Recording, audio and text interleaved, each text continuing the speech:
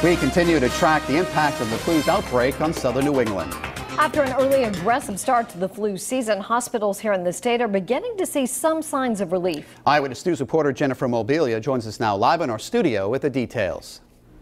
Well, as we've been reporting for weeks now, the flu reached epidemic proportions here in southern New England and caused many residents to rush out and get vaccinated. Healthcare professionals we spoke to say patient numbers have come down a little bit in the last week or two. They attribute the decline both to the flu season, which would typically be half over by now, taking its course, and the state's vigilance in getting people vaccinated. Still, if you haven't gotten sick and didn't get your flu shot, doctors say getting vaccinated is still the best option for staying healthy.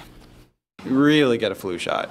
You know, this is uh, there's there's a lot of different ideas around the flu shot, and there's a lot of different beliefs about the flu shot. The flu shots work, and they really do significantly reduce the chances of you can get flu. It doesn't eliminate it; it's not 100%, um, but it's really very important.